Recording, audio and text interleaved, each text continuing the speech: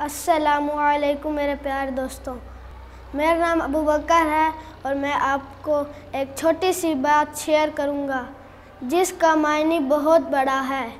हज़रत अली रज़ी के पास एक आदमी आया और कहा, भाई की कीमत कितनी है? दोस्त की कीमत कितनी है?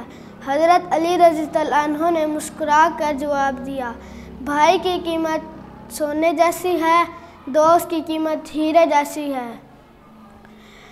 आदमी ने पूछा, भाई की कीमत इतनी कम क्यों है और दोस्त की कीमत इतनी ज़्यादा क्यों है?